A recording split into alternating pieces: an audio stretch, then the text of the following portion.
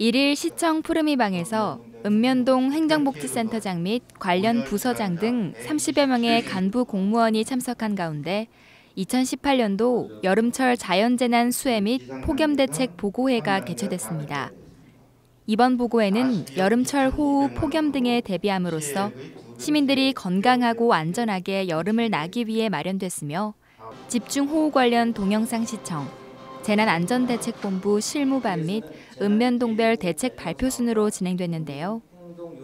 보고회에서는 취약시설 사전 점검, 예찰 활동 강화 등 호우 피해 예방 대책과 폭염의 장기화 전망에 따른 홀로 사는 어르신에 대한 노인 돌보미제 운영, 방문 건강진단, 안부 전화 실시, 그리고 무더위 쉼터 운영 등 다양한 대책이 보고됐습니다.